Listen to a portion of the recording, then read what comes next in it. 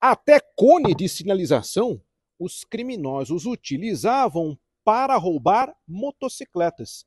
Mas dessa vez a vítima era um guarda civil municipal.